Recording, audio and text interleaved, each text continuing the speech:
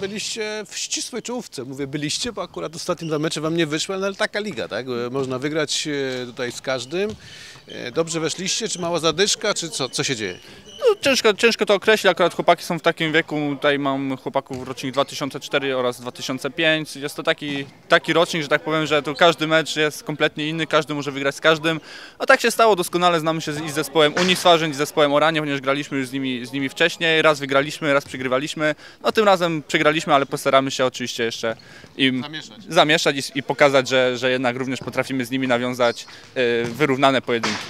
E, Czyli zespół pokazał, że potencjał ma, że Dokładnie. tutaj fajnie się pracuje Dokładnie i jak tak. e, mają dobry dzień, o tak bym powiedział, to potrafią wygrać. No dokładnie, dokładnie tak. No tak jak mówiłem już tutaj, to jest taka liga, że tu każdy może wygrać z każdym, co już nie, nie jeden mecz tutaj pokazał i, i myślę, że myślę, że z doświadczenia swojego tutaj też wiem, że tych chłopaków stać na pewno na dużo więcej niż pokazali w szczególności w meczu z Unią Swarzyn. No tutaj mecz z Oranie, dużo sytuacji na samym początku, mieliśmy jeszcze przy stanie 0-0.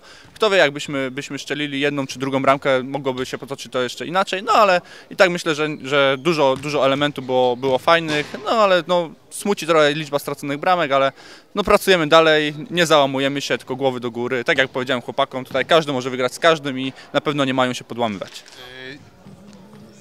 Chciałem zapytać, na, na czym polega znaczy, największa, na, może nie problem, ale na co Pan zwraca największą uwagę, żeby ich właśnie zmotywować, zmobilizować, by zawsze mieli ten dobry dzień, akurat w tym, e, no tutaj dwa razy po 15 minut. Mhm. Koncentracja, danie z siebie to, co potrafią.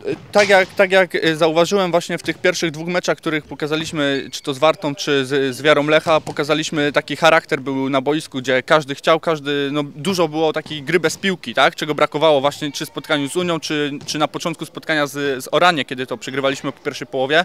Tego nam brakowało, ale myślę, że jeżeli chłopaki dojdą do takiej, że ustabilizują tą swoją formę, że jeszcze wprowadzimy kilka na treningu kilka takich elementów taktycznych związanych właśnie z dyscypliną taktyczną w zespole, no to myślę, że myślę, że jeszcze niejedną niespodziankę sprawimy tutaj.